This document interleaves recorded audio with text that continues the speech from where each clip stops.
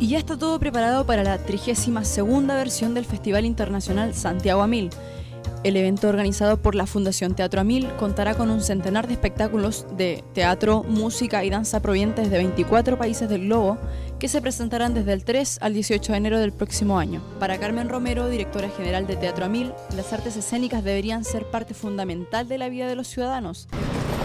Nosotros como Fundación Teatro Amil Creemos que las artes escénicas y las artes en general contemporáneas, de excelencia de Chile y del mundo, debieran ser fundamentales en la vida del país y de todos sus ciudadanos. Por ello, eh, estamos eh, manteniendo cada año el Festival Santiago Mil, que nos permite a todos, o a alguna parte por lo menos de los ciudadanos de Santiago y de algunas regiones, eh, ponernos al día. ¿El Estado o los privados?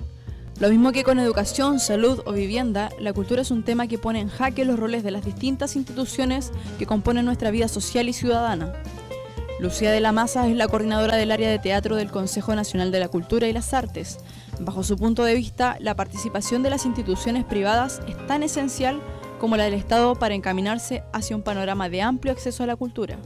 En ocasiones eh, hay, eh, empresas, compañías privadas que hacen un gran aporte cultural y que nosotros valoramos enormemente porque el esfuerzo no puede venir solamente del Estado, sino que también es importante que, los privados se, se, den cuenta de la importancia que tiene hacer este aporte a la cultura. El Festival Santiago Amil representa para cientos de chilenos una oportunidad de poder participar en espectáculos culturales a bajos costos.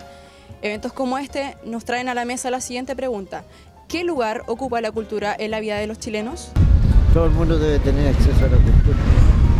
El Estado igual se preocupa de hacer hartas cosas, solo que la gente como que no pesca, está preocupada de otras cosas. Más allá de las empresas privadas o el rol del Estado, es cierto que hoy los chilenos se interesan mucho más por la cultura, asisten a más eventos, se preocupan de investigar más en Internet y están en mayor conocimiento acerca de este tema.